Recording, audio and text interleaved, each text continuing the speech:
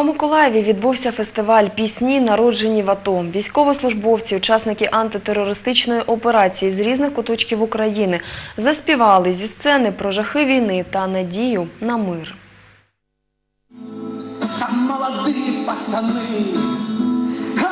одни.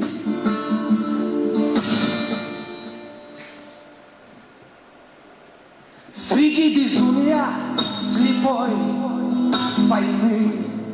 Перший подібний концерт відбувся у Дніпрі.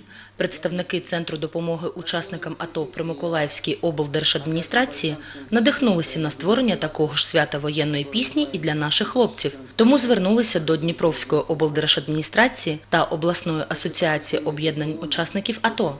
Ті із задоволенням погодились організувати такий концерт і в нашому місті.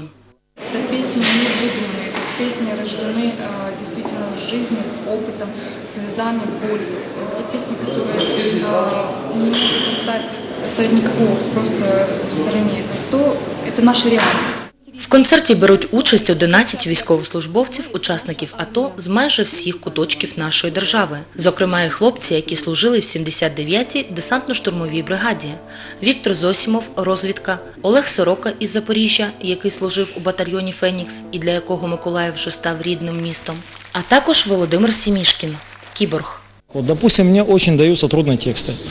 О, Ну, просто это мое личное мнение. Я очень придирчив по весе к текстам, поэтому я в основном пишу музыку. Мне проще взять, э, допустим, какой-то готовый текст и вот вложить в него музыку, вложить в него эмоцию голосом и мелодию, и вот уже сделать песню. 22 вересня у Києві відбудеться всеукраїнський фестиваль пісні, народжені в АТО, де разом з атовцями на одній сцені виступатимуть і зірки українського шоу-бізнесу. Катерина Лисюк, телевізійні новини Миколаївщини.